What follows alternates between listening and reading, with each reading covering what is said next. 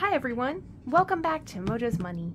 On this channel, we talk about all things cash stuffing, budgeting, savings challenges, um, paying down my mortgage, etc. And anything to do with money. And today, you have probably already guessed what we're going to be doing.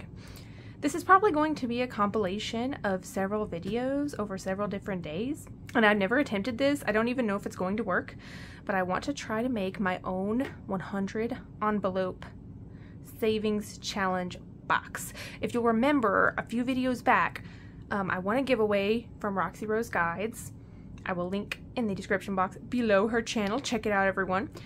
And one of the things that she sent me was a, a colorable cardstock of a 100 envelope challenge, like a tracker.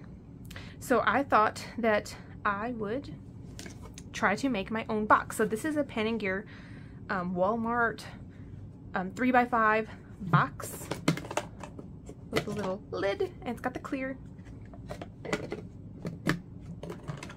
I don't even know how I'm going to make them fit in here once I get money in them, but anyway, so what I've seen people do is the clear um, type of like thick laminated plastic um, looking small envelopes. And so I thought what if I did them with paper? What if I could just get some 3x5 note cards that would for sure fit in here um, fold them over and tape the sides. So I've got this magic tape that is not glossy that will hopefully um, it will show up good on camera whenever I have them out.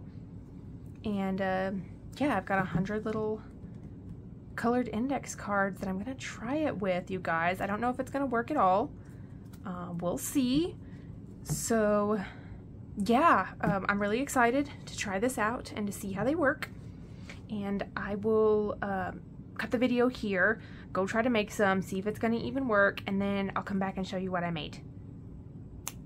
Okay everyone, I'm back again. It has been a few days, and I have done a lot of envelopes. As you can see, they're fitting in the box really nicely. Um, like I said, this is the Pen & Gear just clear 3x5 note card box.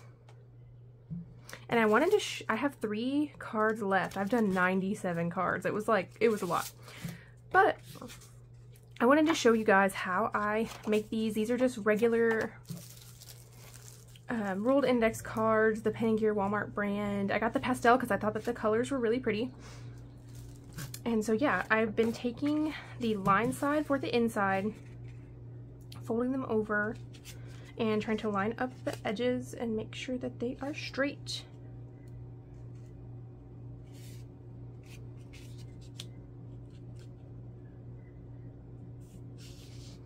Then increasing it.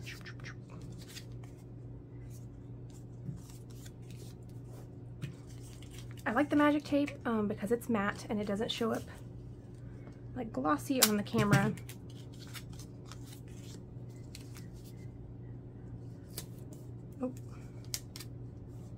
Putting a little tape on there, tightly folding it over, taping that side.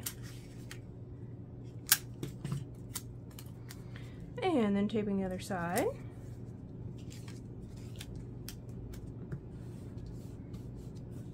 So there we go. These are what my little envelopes are.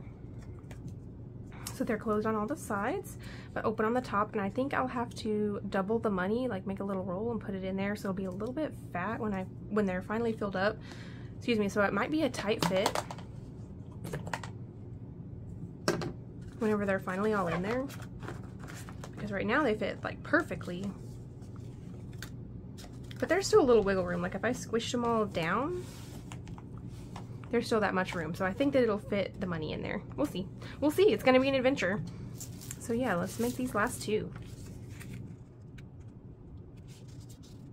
It's a little bit harder to make them on the play mat because it's actually, or the background mat because it's actually a little bit squishy when I'm trying to crease. Interesting. I was making these at my regular computer desk for the past few days. Just like while I was doing something else on the computer and something was running, I would just do a couple of these and I actually got done. It actually was not that bad. If this works and the money fits in there good, I will consider putting these in an Etsy shop because I've been wanting to start one. I think that they look really cool.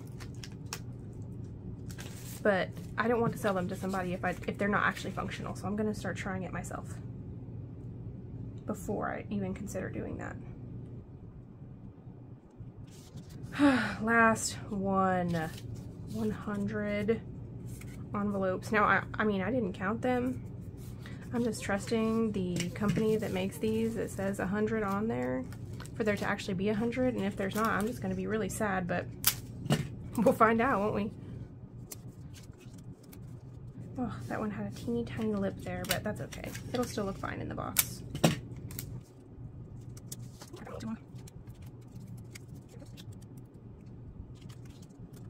Yay!